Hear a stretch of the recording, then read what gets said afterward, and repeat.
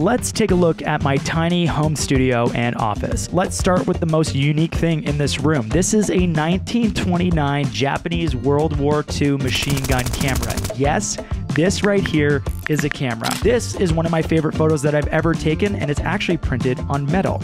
This is my standing desk. It's on wheels so I can move it around because I'm a pretty antsy person and I need to be constantly changing up the way I work. I really love this accent concrete wall. It is great as a backdrop for videos. This is a surfboard that I'll probably never surf, but it looks very cool in my office. This is my guitar collection because I actually used to be a full-time musician before I made internet videos.